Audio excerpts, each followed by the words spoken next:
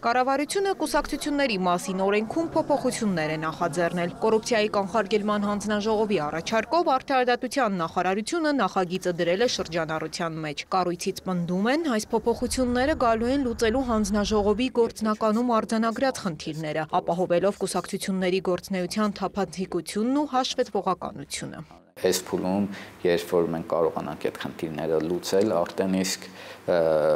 ոնց որ էական էական քայլ կկատարվի, որ կառուցակարգերը ամբողջանան։ Կուսակցություններին վերաբերող սահմանադրական օրենքն ամբողջությամբ վերանայվեց 2029 ու քաղաքական այդ միավորների ֆինանսական հաշվետվությունների նկատմամբ հսկողությունը փոխանցվեց կոռուպցիայի կանխարգելման հանձնաժողովին։ Կարապետյանը բացատրում է, տարեկան աուդիտի իրականացման հարցում խնդիրներ են առաջացել քննարկումների արդյունքում որոշվել է նոր ժամկետներ կնախատեսվեն, որ պետբյուջեից ֆինանսավորվող ու այդ ցանկում չընդգրկված կուսակցությունների համար նույն ընթացքում աուդիտ չիրականացվի։ Այդպիսով հանձնաժողովը հասցնի մրցույթ ցույց հայտարարել, ճիշտ բաշխել ռեսուրսներն ու ծանրաբեռնված չաշխատել։ Ներկայումս նախատեսվում է այն կուսակցությունները, որոնք ստանում են պետական ֆինանսավորում, իրենց աուդիտի իրականացման ժամանակահատվածը ավելի առաջ տանել, այսպես ասած, երկու փուլով իրականացնել աուդիտը, տարանջատելով այս կուսակցությունների,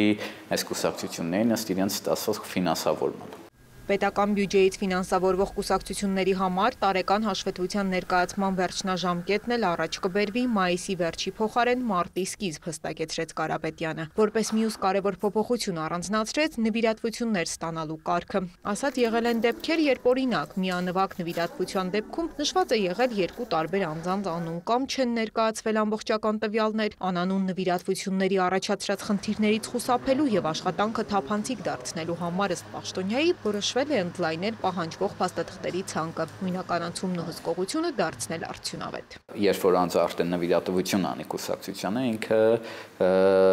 նշի ոչ միայն անուն ազգանուն, այլև անձնագրային տվյալներ ու ՀՑՀ համարանիշ, որ ցանկացած դեպքում նույնականացումից խուսափենք ու անձը կարողանանք այդ միջոցները այսպես ասել, ասոց վերահսկողության մեխանիզմներ սահմանել, Փոխարենը որոշ շրջանակի համար կպարզեցվի հայտարարագիր ներկայացնելու պահանջը, այսինքն կարգավորումներն այնպես կտրվեն, որ նույն մարդը մի քանի անգամ հայտարարագիր չներկայացնի, խոսքը մասնավորապես պաշտոնատար անձանց ընտանիքի անդամներին է վերաբերում, բացատրեց Կարապետյանը։ Հանրային ծառայության մասին օրենքով կա պարտավորություն, որ հանրային ծառայ պաշտոնատար անձանց նշված շրջանակի պաշտոնատար անձանց ընտանիքի անդամները ներկայացնեն հայտարարագիր, որը ծավալուն հայտարարագիր է ու ներառում է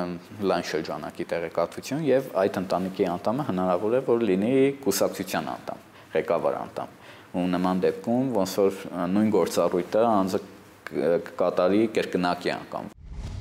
Իդրաֆտում նախագծի քննարկումն արդեն ավարտվել է, ստացել 5 կողմ, 4 դեմ ձայն։ Հիմա կարծիքների հավաքագրման փուլն է, որից հետո փոփոխությունների փաթեթը կներառվի գործադիրի օրակարգում, այնտեղից էլ կգնա օրենսդիր։ Անուշ Մուրադյան, Աշոտ Խաչատրյան, լուրեր։